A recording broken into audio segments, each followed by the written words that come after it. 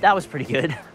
Uh, that was that was pretty good. Ian Ousley is Sokka in Netflix Avatar's live-action adaptation. He's definitely a challenging character to portray, humorous but complex at the same time. But let's compare the live-action version to the original played by Jack De Sena. Katara, a strange glowy iceberg just exploded and left behind a mysterious little bald person. Okay, everybody can help us now!